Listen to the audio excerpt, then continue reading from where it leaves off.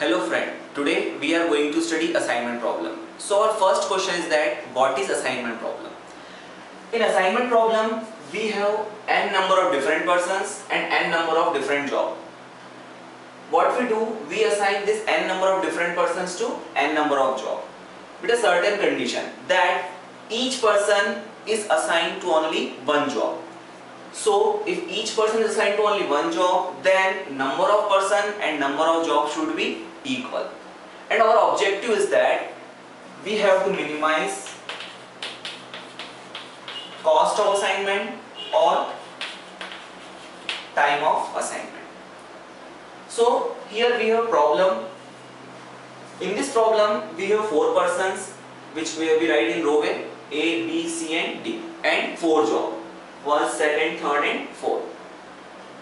And here if we assign first person to first job then cost is 15. If we assign first person to second job then cost is 13. If we assign second person to first job then cost is 11. So these all are the cost. What we have to do, we have to minimize the cost by assigning these four persons to four job. So we uh, we make assignment with the help of Hungarian method. What is Hungarian method? In Hungarian method, we use certain steps to solve the assignment problem. And first step in Hungarian method is that that our matrix should be square matrix. In our example, our matrix is square. What is square matrix? In square matrix, number of row and number of column should be equal. In our example, we have four row A, B, C and D and four column first, second, third and fourth. So our matrix is square. If our matrix is square, in second step what we do? We reduce the matrix. In second step we reduce the matrix. How we make reduction? First we reduce the matrix by row wise that is we call row reduction. In row reduction what we do? We select minimum element from each row and subtract that minimum element from that row. So, uh, so, so for example in first row minimum element is 13 what we do in row reduction we subtract this 13 from the element of first row in second row minimum element is 11 in third row minimum element is 10 in fourth row minimum element is 14 what we do in row reduction?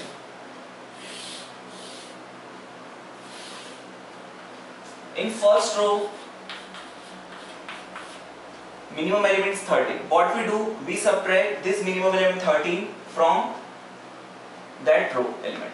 So 15 minus 13 is 2 13 minus 13 is 0 14 minus 13 is 1 17 minus 13 is 4 in second row minimum element is 11 so we subtract this minimum element 11 from element of second row. That is 11 minus 11 is 0 12 minus 11 is 1 15 minus 11 is 4 30 minus 11 is 2 in third row minimum element is 10 so what we do we subtract this minimum element 10 from element of third row. That is 30 minus 10 is 3 12 minus 10 is 2 10 minus 10 is 0 11 minus 10 is 1 and in fourth row we do the same way.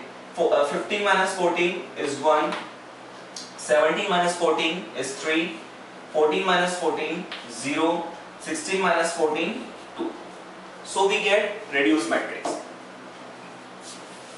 In the next step what we do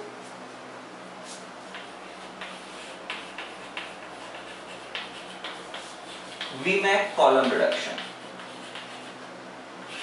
But question is that how we make column reduction?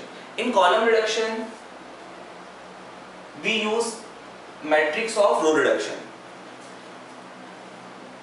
In first column we have minimum element 0 in second column we have minimum element 0 in third column we have minimum element 0 but in fourth column we have minimum element 1 so what we do we select minimum element from each column and subtract that minimum element from the corresponding column so we get column reduction So how we proceed?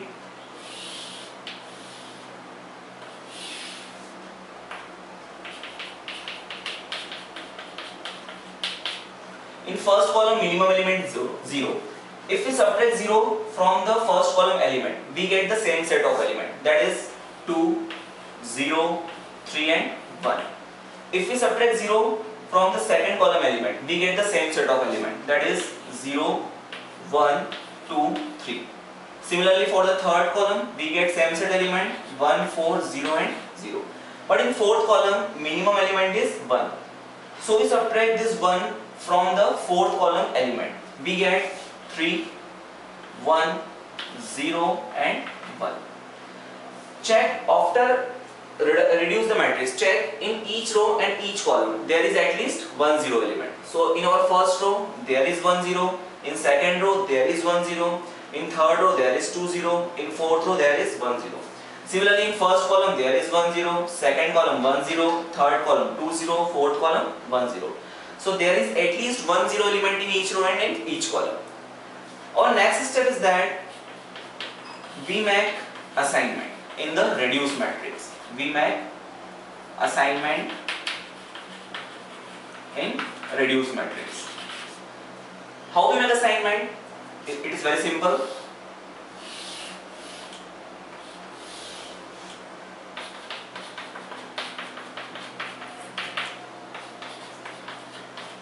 We write reduced matrix as it is 2, 0, 3, 1, 0, 1, 2, 3, 1, 4 0 0 3 1 0 1 how we make assignment we use it is very simple. First we check row from top to bottom until a row with single zero is appear. We make assignment to that single zero by making a square bracket around it by making a square bracket around it and then cross all the zero in the respective column so what we do, we check row from top to bottom until a row with single zero element appear. In first row, there is one zero. So we make assignment by making a square bracket around this. And we cross all the zero in the column number 2. Why we cross all the zero? Because uh, in assignment problem, each person is assigned to only one job. So we have to cross the column 0. In second row, there is one zero. So we make assignment by making a square bracket around it and cross all the zero in the respective column. There is no zero, so no need for crossing. In third row, there is two zero. There are two zero, so we don't make any assignment in the third row. In fourth row, there is single zero, so we make assignment in the fourth row and cross all the zero in the respective column. Why we cross zero? Because each person is assigned to only one job. If D person assigned to third job, then third job is not going to assign to any other person. Now we make column assignment. How we make column assignment? We check column from left to right and if any column in which there is single zero, we make assignment in that single zero and cross the respective row zero. In first column there is assignment, in second column there is assignment, in third column there is assignment. So there is no need to assign in the first, second and third column because we have already assigned this three column. In fourth column there is single zero so we make assignment in that single zero and cross the respective zero element. Already crossed. Now we count the number of assignment. Here number of assignment is 4. Number of